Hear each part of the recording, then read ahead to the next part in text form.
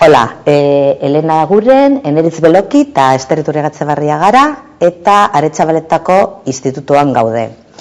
Gaurko bideoan erakutsi nahi dutzugu nola egin oe okupatu bat. Eskua garbitu eta eskularrua jantzi.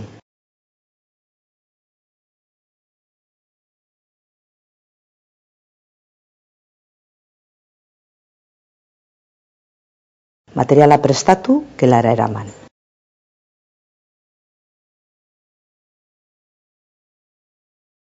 Pazienteari prozedura saldu eta laguntza eskatu.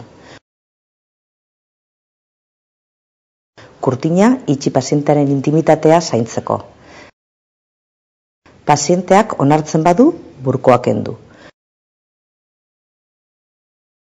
Goiko izararekin pazientea utzi manta eta koltzak enduz.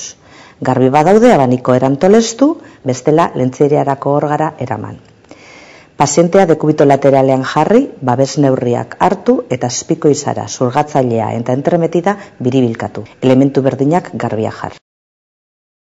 Mitrak egin, beste dekubitoan aurreko pasuak errepikatu. Zikina lentzeria hor gara eraman.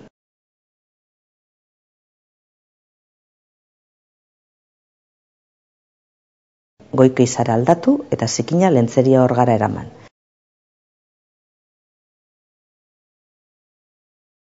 Manta eta koltza jarri.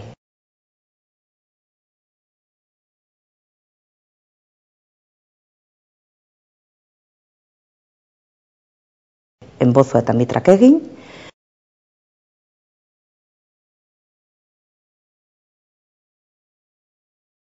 burkoari fundaldatu eta pazienteari burko jarri.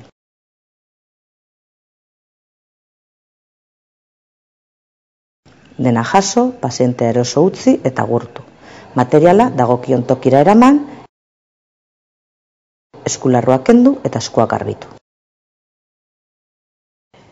Labur bilduz, hauek dira pausuak. Eskua garbitu eta eskularroak jarri.